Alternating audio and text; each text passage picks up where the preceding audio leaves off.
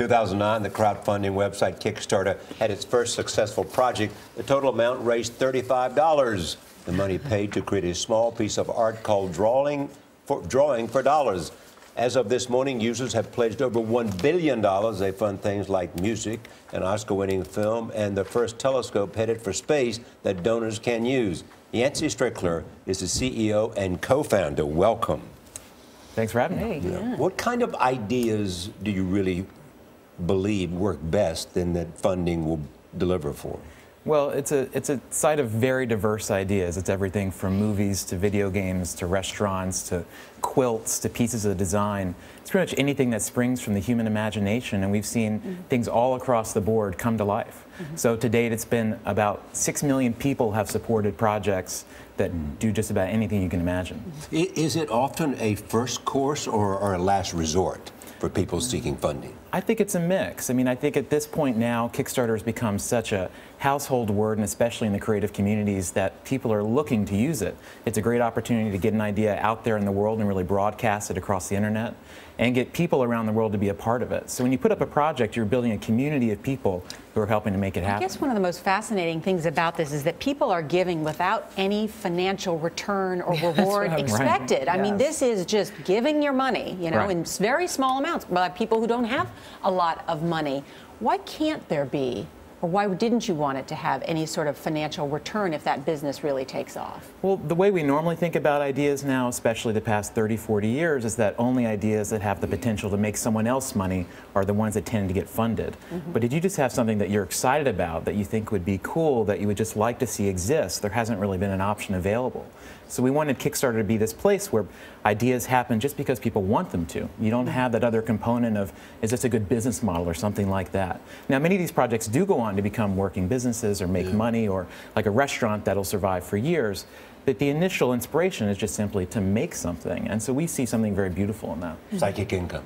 Yeah, sure. I mean, just uh, wanting it to exist should be reason enough. It shouldn't have the need to make money for somebody else. That's what's so cool about what you do because the imagination can take you to so many places. For instance, I can't believe that now Veronica Mars is going to be a movie on the big screen, Yancey because of Kickstarter. I think that's amazing. That's right. Next Friday it'll open in theaters and be available on iTunes and places like that. This was something that Rob Thomas and Kristen Bell, the creator and star of Veronica Mars, have been wanting to do for years. And for six years they've been told no, people so, don't care. How do you guys make money? Because Kickstarter is a business. How do you make money? Yeah, we're, we are a, a for-profit company. Uh, if a project is successfully funded, raises the amount of money it needs, we charge 5% of what they raised. Mm -hmm. uh, and that is our only source of revenue, but we've been a sustainable company in the black for about three and a half years. You know, I was reading about you that you, you like your job so much, as we all do here, that it doesn't even feel like work. You go to work and you're just energized every single day. Is it really true? You really feel that?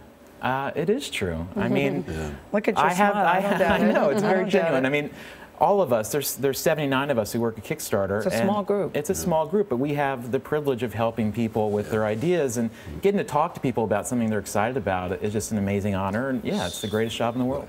One of your favorite projects or something you love is this public space telescope. Yeah. Tell us about that. Yeah, there's this project called the ARKYD. This is from uh, a group of former NASA scientists, people who worked on the Curiosity rover, and they had this idea that they were going to try to make a telescope that would be owned and controlled by the public. Mm. So it got funded on Kickstarter for a couple million dollars, and people will be able to decide where the thing gets pointed once it gets up there in mm. space. So this is one of those things, you know, this right. is this is putting all of us out out in orbit mm. and allowing us to be a part of this. So I, that's definitely one of my favorite things. What what don't you fund? Uh, really, the only thing that you don't see on Kickstarter are charitable projects. Huh. So the site is reserved for people making creative things, and that's pretty much anything you can imagine.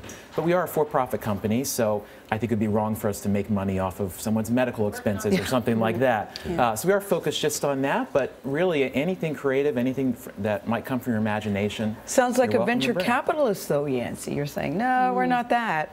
No, I just think that you need it. to have some sort of constraints, I and also. It you know, I, I, we like the idea that there's a place in the world focused just on creativity and the yeah. human imagination yeah. and those sorts of inspiring things. Trying to think Thank of you. a good idea to send your way. Thank you, Yancey. All right, thank really you. good to see you. I ain't got nothing yet. good to see you.